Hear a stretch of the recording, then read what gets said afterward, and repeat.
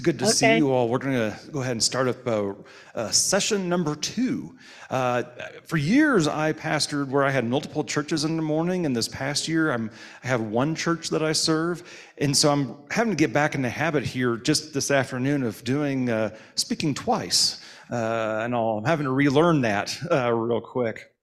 But it's really good to be with you all this afternoon. Uh, I am, my name is Travis Walker, and I am the Congregational Resource Minister for the ESCO District. I'm new into this position this year. Um, I forgot to address it in the first session, but I'll share a bit here. The Congregational Resource Minister, because I've been asked several times, you know, what, what do I do? Well, if you have a question, ask me and I can let you know. Uh, really, I'm just, I would say, primarily here to support, uh, be another person you can call if you have questions. Uh, about things going on in the life of the church. If you're looking at new ways of connecting with your community and you'd like to brainstorm some ways, uh, I'm a person you can call to talk with about that. If you're looking at maybe making some improvements uh, on your building and you have questions about that, maybe it's audiovisual or maybe disability access, uh, you're welcome to give me a call. I can uh, connect you with some resources. And I would say one of the things I've been focused on this year is grants in regard to disability access. So if you have a bathroom or an entryway or something that's uh, needs to have some improvement where folks can make it into the building, uh, let me know, as there's several foundations right now that are interested in that support uh, for congregations. And I think that's a good thing right there. Um, other things I can help with. Um, your uh, visioning for churches that's another thing i can help with. If you have questions on paperwork that need to be done this is probably more for the pastors uh, in the room right there especially we just got done with church conference season but if you ever have questions about any paperwork or insurance you're always welcome to give me a call. And uh, can walk you through or talk about that for a bit. Um, it's really an interesting uh, position. It's, it's, one unlike anything I've ever uh, been in before, and I'm learning as I'm going. So I would say, challenge me. Let's find out where my limits of knowledge are. I'd like to find that out. So feel free to call anytime. And the other hat I wear is I'm the pastor at the Wiley United Methodist Church, which is in Wiley, Colorado. If you're not sure where Wiley is, uh, if you know where Lamar, Colorado is, Wiley is about 10 miles northwest of, of Lamar. Uh, it's a metropolis of about 350 people. I live in the urban core of, of Wiley, right in the middle of town. Uh, and then my other half, my wife, uh, she is the pastor of the Lamar United Methodist Church and the Two Buttes United Methodist Church. Uh, so we're a clergy couple uh, serving and living there in Wiley.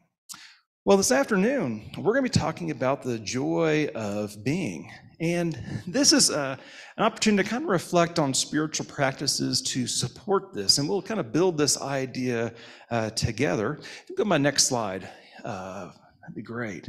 Uh, folks upstairs are helping me out. They are running the, the PowerPoint for me. So at moments if I say next slide, just randomly, it's they're helping me out. So just give you a heads up on that. They're not you know, having a moment or anything. Uh, so we'll be looking at a couple things here this afternoon. Uh, you know, what is joy? You know, we'll kind of explore that. And then we'll also uh, uh, tickle the, the intellect and those who are a little bit more on the philosophically inclined of what is being. And then we'll synthesize these two ideas together and, and look at how we can incorporate the joy of being into our everyday life, how we can use spiritual practices to support having joy in our being in our life. So that's what we'll be looking at this afternoon.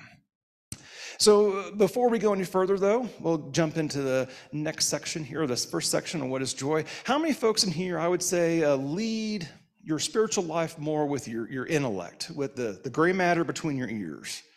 Anyone willing to admit that? I'm one of those folks right there. So I, I hear you right there. How many folks here uh, lead with your heart? In your spiritual life. Well, okay, a lot of Methodists in here. uh, yeah, heart, you know, you feel those connections more, maybe more relational, um, and that you just kind of feel it here. Now, I have to clarify my next question on this because I asked it and it got responses I wasn't quite expecting. But how many of you are more like instinctual, kind of you you you come to a decision quickly? Uh, you lead with your gut.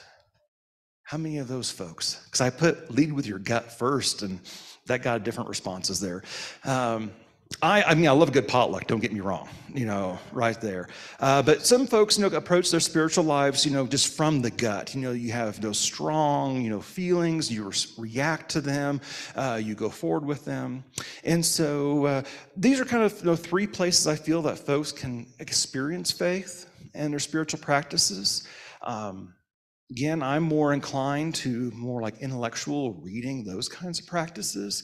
But I found some of my biggest growth is when I examine my heart, and look more here or more from here. And there's other ways we can embody uh, faith and spiritual practice as well, but just to help you kind of start thinking about all these ways in which we connect with our faith. Uh, but when you hear the word joy, what comes to mind? Bishop Karen did a great job, lovely message this morning, kind of setting us up for this here. In fact, when I heard her, you know, hearing her preaching, I was like, "Oh, thank you, Bishop. You made my afternoon easier." Uh, but when you hear the word joy, what comes to mind? Happiness. What else? Contentment. What else? Connectedness, family, warmth. Yeah. Anything else? Light, lighthearted, yeah. Peace. Yeah, there's a, a lot of words we can incorporate with joy. Uh, I'll take a volunteer here. I'd love to have a volunteer read out of Isaiah for me. Isaiah in chapter 55, verses 12 through 13. Anybody like to get that? I can pull it up real quick. Do you have one with you? You Oh. Yeah. Yeah, Isaiah 55. And so all these ideas that we have about um, you know joy, uh, part of our work as a people of faith is really turning back um, to our scriptures.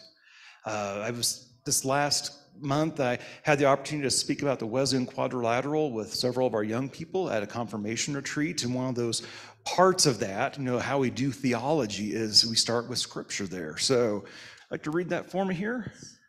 55, 12 through 13. For you shall go out in joy and be led back in peace. The mountains and the hills before you shall burst into song, and all the trees in the field shall clap their hands. Instead of the thorn shall come up in the cypress, instead of the beer shall come up in the myrtle, and it shall be to the Lord a memorial for an everlasting sign that you shall not be cut off. Thank you. I appreciate that. Thank you very much. Uh, and so that picture of scripture right there, for me, paints that picture of joy. You know, that connectedness going forward, the mountains and the hills. I think of that song in the faith we sing, the trees of the field, you know, stands out to me right there. Um, but also reminds of connection we're not cut off. So joy connects you know, on so many different levels, but it, you know, it's scriptural that we experience joy, that we have that in our faith. Let's go to the next slide here, real quick. And so Bishop Karen mentioned that you know, joy really is more of an outlook um, or way of looking at the world. And when she said, kind of said something very similar, I thought that is perfectly in my PowerPoint today. Uh, but joy really is an outlook. It's uh, uh, rather than just feeling an instantaneous like moment. It's looking outward. You know, big scale, kind of how we exist in the world, how we operate in the world comes from a place of joy. Um, I also think about how joy reflects that hope and connection that we have with God, uh, even when things are tough. Uh, I think about church musicians, a lot of church uh, works that are written on joy, especially liturgical pieces, uh, have, um, you know, are written in a minor key they're talking about joy. And if you know a little bit about music, if you don't, that's okay. Minor keys are often used if you want to make something feel a bit unsettled or uncertain, or maybe a little bit darker, a little bit different. Uh, I, used to be able to do the exercise where you could, you know, sing "Row Row Your Boat" in a major key and then do a minor key because I took a, some music classes at one point. Can't. I'm not going to do that today for you. Don't worry. But it really changes if you go into minor key. But I think what's amazing about joy when we express it that way and think about that, even though things might be unsettled, might be a little dark, maybe a little discouraging or a little weird, even, we still have joy. Joy is still with us as we move forward as a people. So let's move on, tickle our, our, intellect here for a little bit. And for those who might be a little more philosophically inclined, uh, think about being. And this is can be kind of a challenge for us. I'll go to the next slide there. Thank you so much. Because uh, it really reflects to our existence. So many people, theologians, uh, philosophers have tried to address, you know, what does it mean to be, to exist, to be in the world? But being, you know, is our existence. We are here. We're living entities. The cells in our body are going through, you know, mitosis, they're splitting, they're reproducing. We are taking oxygen in and we are expiring carbon dioxide. We're digesting our lovely, lovely lunch from earlier. Like there are things happening in us that are living. That's a part of who we are. But we also exist in the present moment. We're here in a, in a present time. If we want to get real, uh, you know, you know, speaking of like physics or think about how Einstein might talk about the world, you know, we exist in space time, you know, space and time and space time. But I also think there's something more practical about this, though. It's not just, you know, way out there stuff. They also, these things matter to us in our everyday. How many folks in here are overthinkers? You know, you know, the folks who think about the things you've done in the past, or maybe the last conversation you have, you replay that conversation, or you replay what you did like four, five, six, eighty times, and you keep coming back to it. Well, that's a, and I'm one of those. Like I am right with you there, my my fellow overthinkers. Um, you know, that draws me backwards. It pulls me out of the present moment, makes me go backwards. How many folks do I have in here are would say worry about the future or inclined to worry? Got a few. That's all right. That is all right. Uh, you know, there's plenty of things to be worried about in the future. There's plenty of things that we don't know what's going to happen next. I mean, we may have on our calendar what we're going to be doing on Tuesday, but if we're really honest, we don't really know what is going to happen on Tuesday. Like, for all we know, um, there could be a great sale on chicken wings, and that throws our whole schedule off because traffic gets all crazy people shopping for chicken wings. Or perhaps we're seeking it out and we weren't planning on it. There's so many things that are beyond our control. But this is where I think our faith can be incredibly powerful. I think about that passage out of Matthew when Jesus was you know, teaching, talking about worry. You know, the passage I'm talking about here, you know, consider the, the lilies of the field. They were not as clothed as Solomon was in his glory. Consider the birds of the air, and they are cared for. And how consider you, eh, you know, you are so much more valuable than all these things. You know, so do not worry about tomorrow. I think these are natural things as humans that we worry about, you know, what is coming, the future, we worry about the past. But we have an amazing gift, an amazing ability, you know, a gift to be in the present moment. And so let's uh, move on next slide right here. So considering all these things, uh, when you hear the word being, what comes to mind? What stands out to you?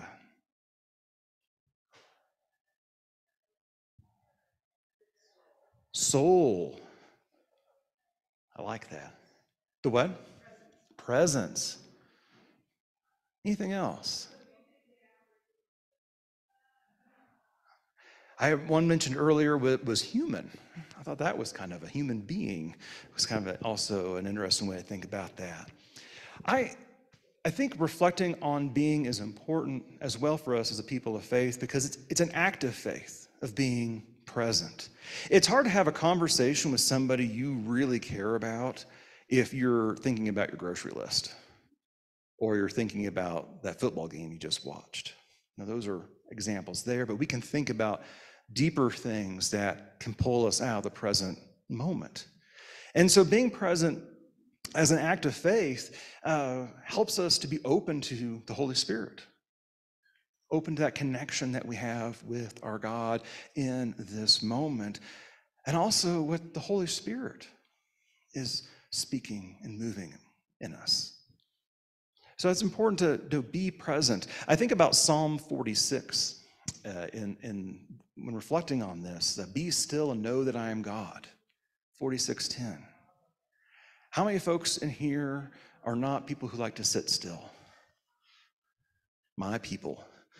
Like I don't like to be sitting still either. I know people who, I mean, have, have the patience, who can, you know, be reflective and quiet. If I have, you know, five minutes that's not on my calendar scheduled, I start panicking because I'm afraid of like what's going to fill up that vacuum on my calendar right there. You know, how's it going to get filled? You know, that's pulling me out of the present moment, that worry, that anxiety. But being present is an act of faith. And we'll talk a little bit about this when we talk about Sabbath as a spiritual practice, but you know, having that time where we can be present and be reminded that God is at work in the world and that we're not the ones who have to control the world. God is at work. It can be life giving to be reminded of that. And so, if we synthesize that, if you can move to the next slide there, you know, synthesize these things, that uh, the joy of being, you know, is that act of faith. Finding joy here in the present moment uh, is, you know, a way of saying, I have faith in God. I have faith in Christ. I have faith in the Holy Spirit might even get you know if you're really liturgical there maybe you could write you know a, a, like a statement of faith and recite it in worship that grounds us and you know, that joy of being as an act of faith i also think it's an act of, of witness of finding joy in the present moment as an act of witness and I think about this, especially considering that we're in an election year. It's 2024. And each and every one of us, in one way or other, are going to be exposed to so many uh, advertisements and stories, you name it, that are going to try to prey on our anxieties, to prey on our fears. And imagine how, what a witness it can be that as a people of faith, we say, you know, I am finding joy in this moment. The fears, the anxieties, the worries of the world don't have power over me. I have faith in our God who's with us. And kind of coupled with that, I kind of see this as an act of defiance in a way, but not in an act of defiance of like, you know, siblings trying to you know, poke each other in the car and try to, you know, you know, really get under the nerves of you know, mom and dad, but rather speaking out against, you know, the forces of evil that want to, you know, cause us to focus on our fear, our worries, instead of being focused on the hope that we have in God. Believe it can be an incredibly powerful act of witness and, and defiance against the brokenness of the world by finding joy in the present moment, finding joy in being. And so it's an act of hope as well. Uh, I remember a mentor years ago who was you know talking to me started saying you know like you know i don't understand why people in the church are always so anxious about change and things being different you know in the church or outside. And i was like where are you going with this? Uh, as he was you know starting getting really fired up. And he's like well we know as christians you know know, the end of the story, no we have that hope of everlasting life. We have that hope of peace, of a, of a new beginning, of, you know, the, the new heaven and new earth. Like we know the end of the story. And so I see that finding joy in our present moment, that joy of being, is that act of hope. It can carry us forward as well. So there's a couple of thoughts right there as we're kind of going through this. Uh, any other thoughts, you know, of what, you know, the joy of being can be an act of blank. Any other thoughts? What you got? Purpose, yes.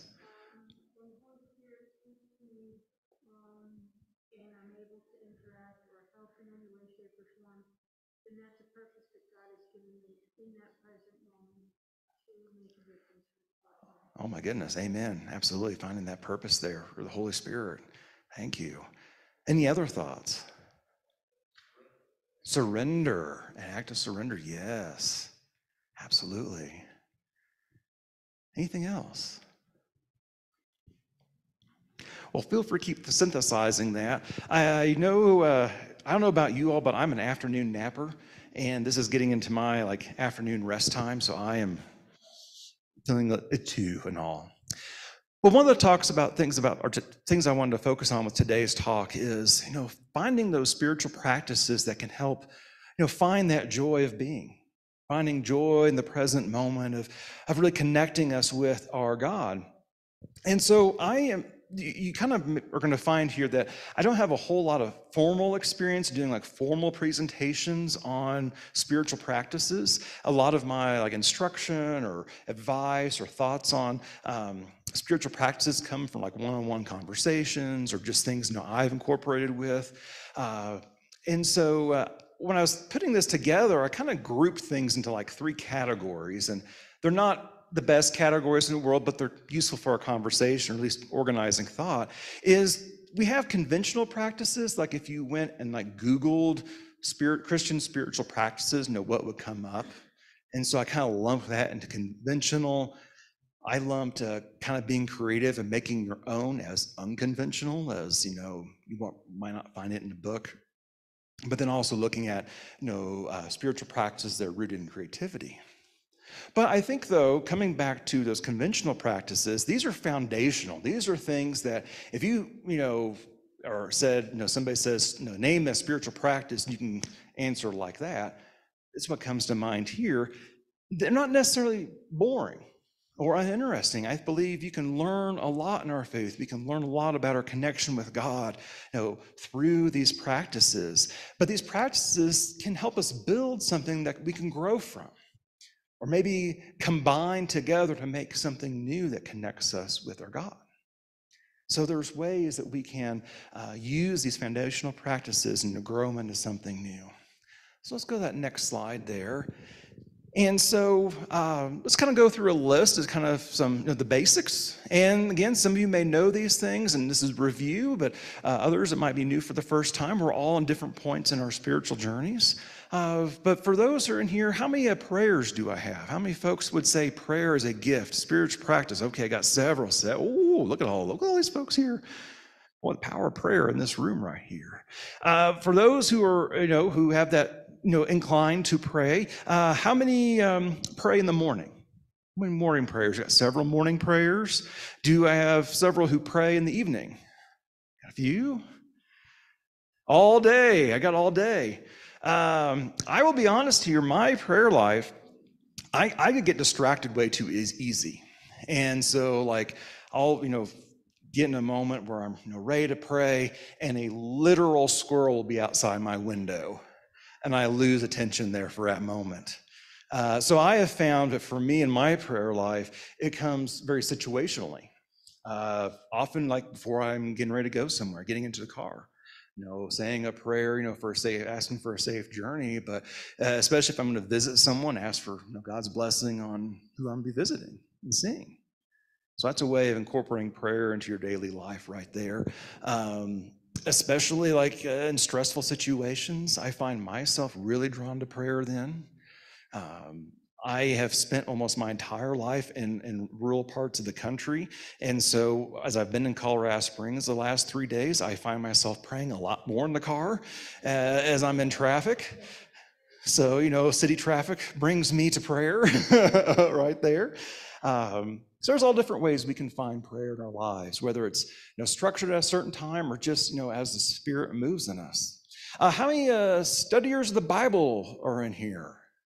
Use this. All right. And, and, Bible study is amazing. I think if there were two gifts or two practices I feel like all people of faith should explore at least once, uh, prayer and Bible study are those two, because uh, we can learn so much from them, and they're not you know, terribly difficult to get engaged with. Um, how many folks here do Bible study, do it uh, in a group? Okay, got several. How many do it on, on your own, kind of individual studiers? Got some individual studiers. And since it's 2024, how many study the Bible online with others? Yeah, I got several here who do that. So there's different ways we can study the Bible. There's amazing tools out there.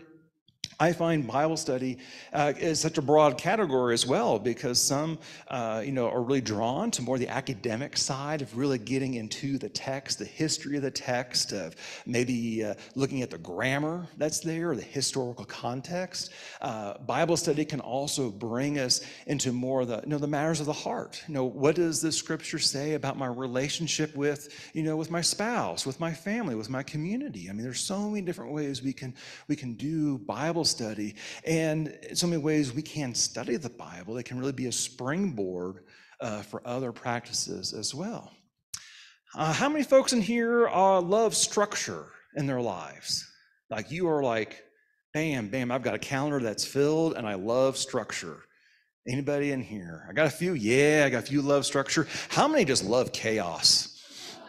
Got a few there just like, I am going with chaos, baby. Uh, um, you know, this is a this is something that I've had to work on because I tend I I like the idea of structure.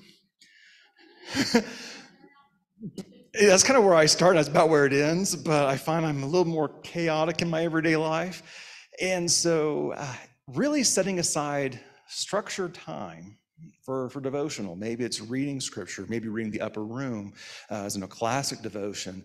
But I think that devotional time can incorporate, you know, prayer, include Bible study, or so many ways you can do that. But having that set aside time uh, can be a real growing edge. I mean, you can grow uh, with that. I think Lent is a wonderful time to try that as we're in the season of Lent. Of you know, it's 40 days plus Sundays that we can try something new that's structured, has a start date, end date.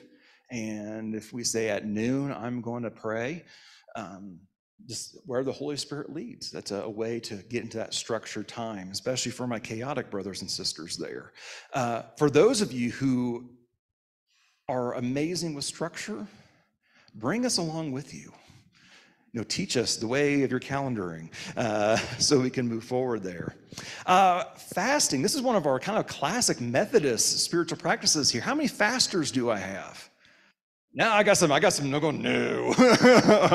got a few, got a few there, yeah. Um, you know, fasting, I think, is a fascinating, you know, spiritual practice there. And again, I'm kind of like, mm, not so much, um, you know, for me. But uh, fasting, when we associate it with food, but there's a lot of ways we can live it out. You know, maybe it is, you know, abstaining from, from media for a while. Or maybe it is, um, you know, abstaining, you know, from something that, uh, you know, takes away our time, like scrolling aimlessly on social media. You know, instead of you know, taking that time that we would scroll, you know, on, on, our phones, we fill it with something else, you know, with maybe we call a friend at that time, maybe we read the Bible at that time. There's a lot of ways you can approach fasting. I, I do always add this in here with fasting, uh, though, um, because I find it's important to consider is that if you're going to, going some kind of medical treatment, say you're on prescription medicine, um, or you're going undergoing a, particular treatment, talk to your doctor before you do fasting with food. And there's nothing wrong if your doctor comes back and says, I don't think that's a good idea. Um, there's a lot of medical conditions that can get really wonky if you're fasting, you know, giving up meals for certain parts of the day. That is not a sign of weakness or that you are less than if you aspire to fasting and your doctor says, not with food. There's so many other ways you can uh, explore fasting of giving up things. Um, and I always add that there because uh, I don't think our spiritual practices should bring us no harm to cause us to, to suffer. Like there, there's a difference between giving up something or maybe sacrificing a little bit as a growing edge, but there's a difference, uh, and that's different from causing real lasting harm. So just be reminded of that, that your value as a child of God is not in your ability to fast. Your value is because God loves you and cares for you so much. Um, other kind of foundational practice is attending worship. Uh, this may seem basic right here. I am fortunate in that my occupation has me in worship one Sunday a, week. You know, uh, so this is kind of pretty easy for me. Uh, others, you know, you've got a lot going on, and so you can kind of get off track. Uh, and, and I say no shame in this right here because there's a lot going on in our lives. Uh, you know, family can live at a distance. You're you know spending time with them, which is important. But I also am aware of there are many in our uh, society who simply can't make it to worship because they're working. Um, I grew up in a community that uh, had an oil refinery. Uh, it was a major hub for the Union Pacific Railroad, had many manufacturers and, and, and foundries. Uh, and so a lot of folks had shift work. You know, they were, when it was their time to work, they had to work. Um, and I also think about our, our first responders, you know, police, firefighters, EMS, uh, especially where in, communities where they're, you know, they're paid, um, you know, and um, that is their full-time job, you know, they're not able to worship sometimes on Sunday mornings. So if you find yourself, you know, in that position where your work uh, has you working when your church is worshiping, I would encourage you to reach out to your pastor about maybe setting up a time of worship or maybe creating a practice of worship. Oh,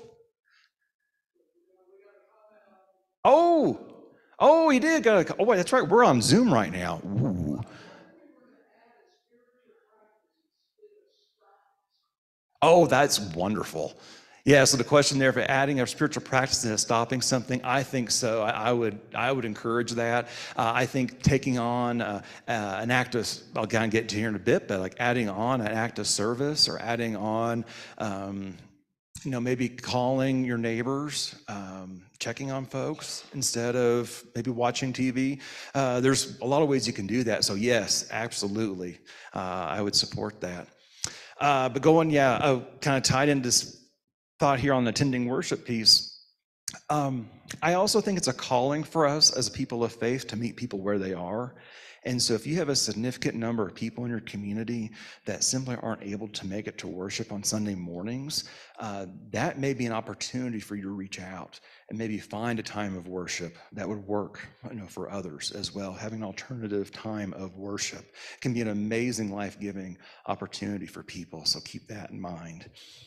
Uh, the next kind of thing to talk about there is keeping the Sabbath. Um, I remember a mentor of mine when I was much younger in ministry uh, spoke to me uh, about the importance of keeping the Sabbath, in that if our God, the creator of heavens and earth and all the creatures, can take a day off, so can you, Travis Walker.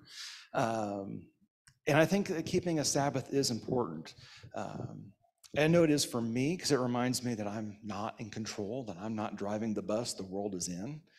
It reminds me to connect with God. My Sabbath for me is Friday. And the weeks that I find where I'm having to, you know, work or, or be with others, uh, I shift that. And so I'd encourage you to have a practice of Sabbath, of finding a time where you are connecting with God, where you can rest, to you know, worship, to connect know, keeping that Sabbath and, and being open to moving that if you need to as well. Uh, going with our question online from our folks who are on Zoom, uh, absolutely. I think um, adding a spiritual practice here, this is a natural one, is of service. How many folks here do I have who have, excuse me, uh, have regularly scheduled volunteer service in their community? Got a few? Yeah. There's so many ways you can serve, you know, community, uh, you know, food pantries, you know, prison ministry, I know help. No, uh, I've got a, a, a, guy in my Wiley church who drives veterans to appointments. That's one of his ministry uh, to medical appointments. There's so many ways service can be. Uh, it could be, you know, your neighbor across the street. You've heard that they're um, struggling to get the lawn mowed, and you just go over and just take care of it for them. You know, that what an act of service that could be right there, and that can be a spiritual practice uh, there. Are there any other practices that I've missed?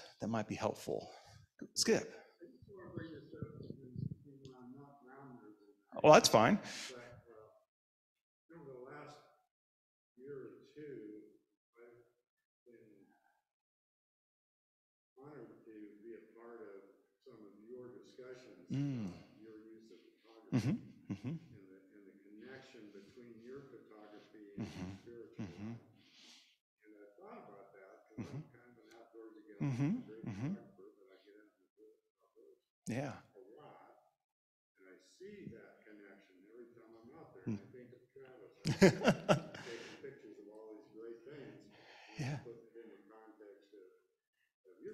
Yeah. Absolutely. Well, thank you. Yeah, and that's actually coming right. Now. Great. Thank you for the segue, Skip.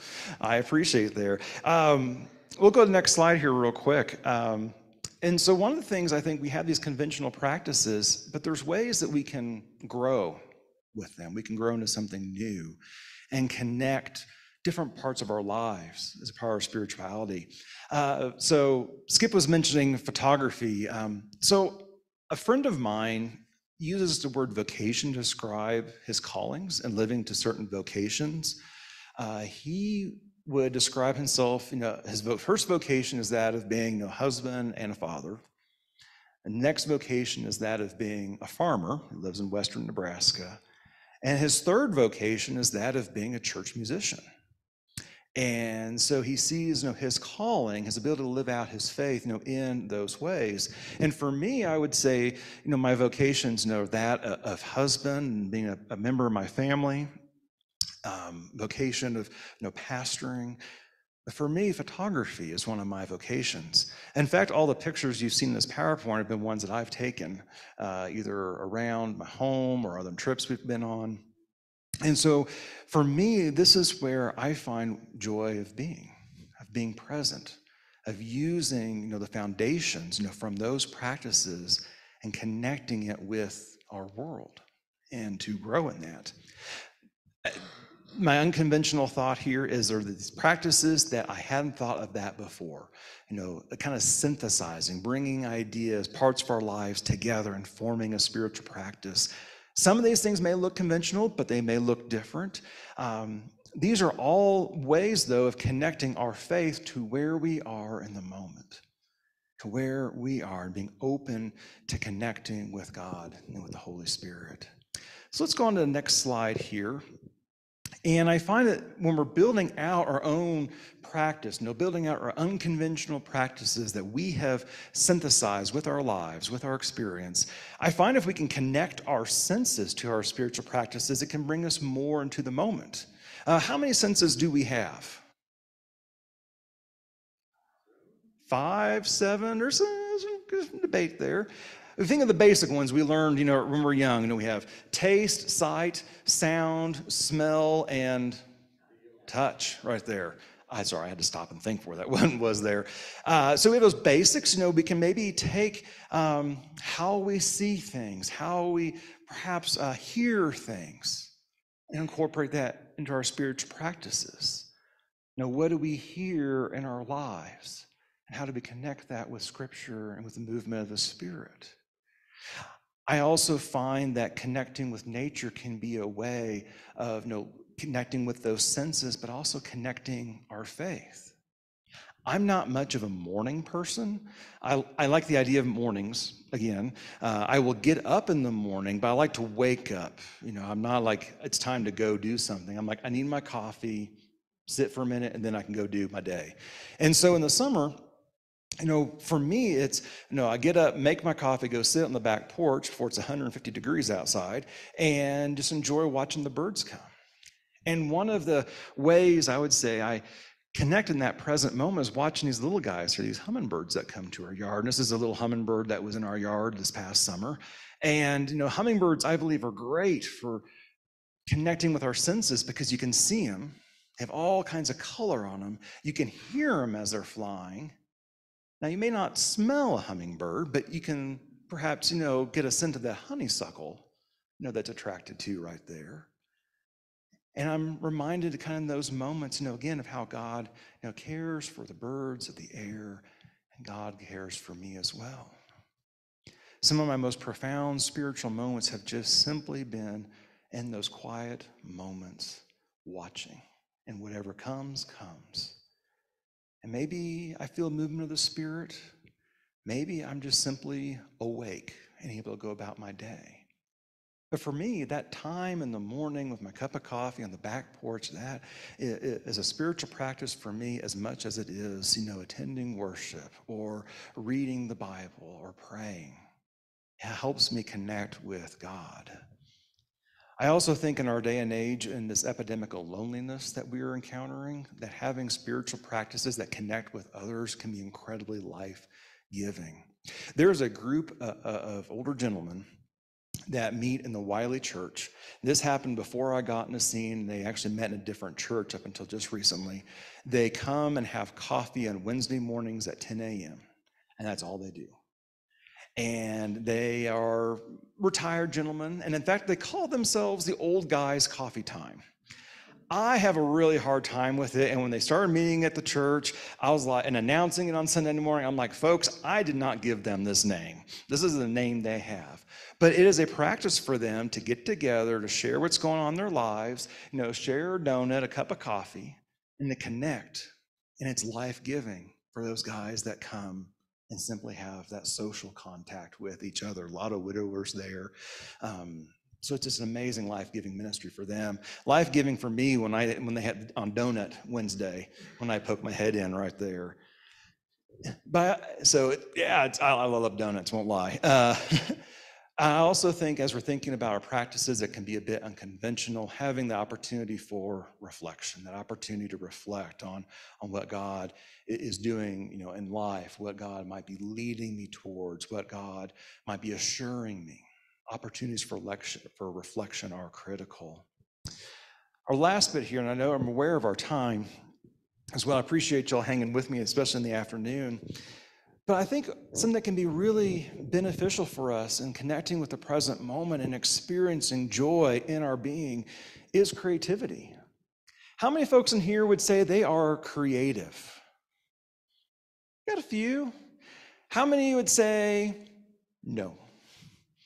Yeah, a few. That's all right. I think we're all kind of, you know, different places in how we reflect that. However, I do think we all have some creativity uh, in us, and we can use creativity in our spiritual practices. Now, the list I have here is not exhaustive by any means. They're just ideas, and I uh, left a few uh, pra- creative practices here that could go up.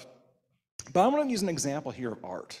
Um, I am not an artist by any means, like uh, formally trained. Like I, use, I love a camera and I've learned art you know, through photography, uh, but I have no formal training in art.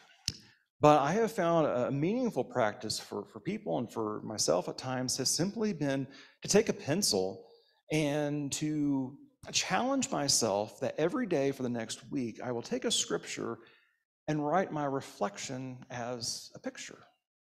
So let's take Psalm 46:10 for a minute. Be still and know that I am God. You get a pencil out or a pen, whatever you got handy, nothing fancy, and you draw whatever comes to you in that moment. You do it for a week. And, and you're not creating the next Picasso or Rembrandt in this. You're just simply being in that moment and seeing just where the Spirit takes you. What speaks to you in that moment? I think that can be incredibly life giving. Now, some folks in here, I know, may be a visual artist. Uh, you may have, uh, you know, training, or that's a, a, a life-giving hobby for you. I would, you know, encourage you to, to use your art as a spiritual practice. Incorporate that into your life.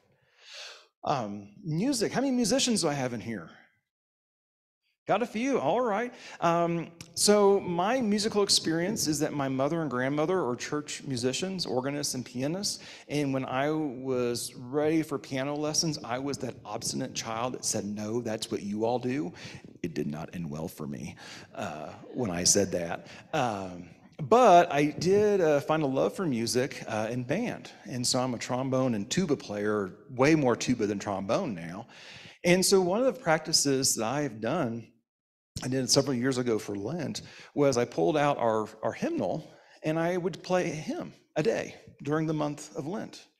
And that was good for me because it helped me learn treble clef a little bit better because tuba does not play in treble clef. And if I wanted to have any semblance of a melody in a spiritual practice, I had to learn treble clef. So for musicians, I would encourage you to try that. Uh, for those who would say you're not a musician, not musical at all, I mean, uh, find you know um, some music do you listen to.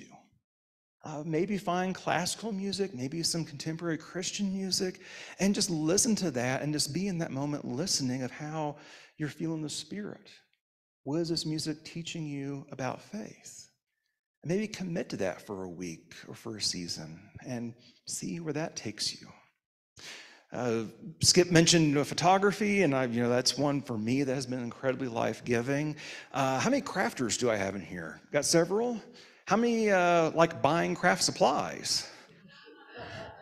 Got several of those in here. That's all right. They're both hobbies. They are both separate hobbies. Sometimes they come together. I say that jokingly, but uh, um, I think crafting is one of those that can be incredibly spiritual as well. Uh, I know so many churches that uh, do have a knitting ministry. Uh, one church I served in particular, they had a, a ministry that for folks in their community, as they were getting ready for chemotherapy or for dialysis, they would knit a full length blanket for them so they could have that. And so it was so life-giving for those who were going through treatment. They had a, they would you know, play, pray over the, the blanket, bless it.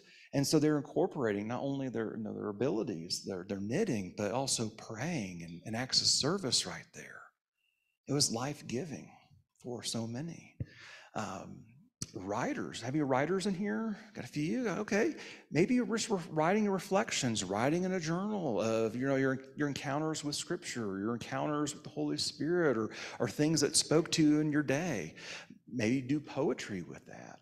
Maybe you write a play. Uh, I had one person earlier that said they were a playwright. I was like, awesome. You know, how amazing that could be. You know, you know writing a play for stories from Scripture. I don't want to have on here, and it was not intentional, but you know, dramatic arts could be a creative practice of living out faith. Um, dance could be one. Are there any other creative practices that I have not mentioned? Sort of a, sort of a creative practice. Uh huh. Um, when I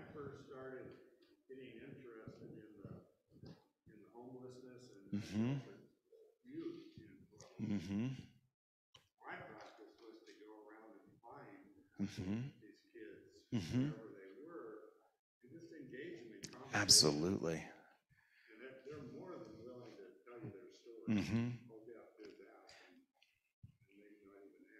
yeah, Mm hmm. but it felt good to be able to connect with these, you know, 16, 17 year old kids who are out there because their mom's in prison or they don't have Mhm. a dad or, you know, mom lost her house because she couldn't pay the rent or Mm hmm. those kinds of things. And, and in my sense of doing that, that, that was, I would consider that a spiritual practice. Absolutely, absolutely. Connecting with people, especially you know, folks know um, uh, they dare to use that phrase, you know, on the margins of society. I just connecting, um, you know, connecting with people, hearing their stories. Um, um, it's amazing just what conversation can do, and it is a spiritual practice. I would agree with that. So thank you for yeah sharing that. Absolutely. Any other creative practices stand out? Well, again, I'm aware of our time, so I'm going to kind of wrap this up. Uh, if you want to jump to that last slide uh, on our presentation there, kind of my information. Um, for next steps, though, I encourage you to really think about how can you connect the present moment with your faith? How can you find joy in the present moment? Is it through prayer? Is it through Bible study? Is it through through painting pictures, or is it through you know connecting with others?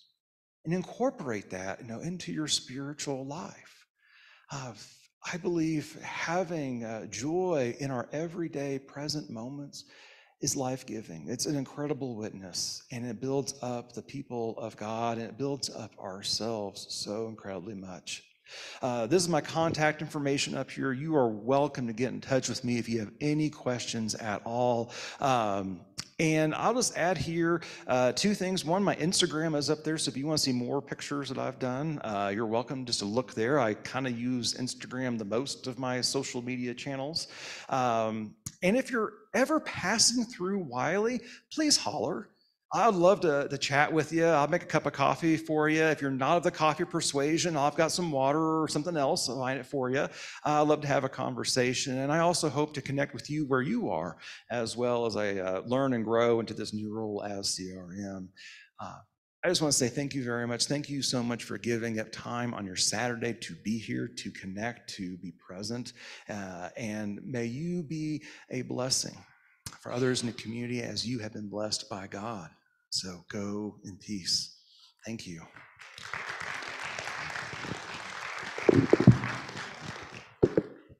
And thank you to our folks upstairs who have been running all this. Uh, so appreciate you all. Thank you. So how close were you to that cougar? So that's at the Cheyenne Mountains. Yeah, that's because it was way out, you know, back in there and just, you know, got close, you know,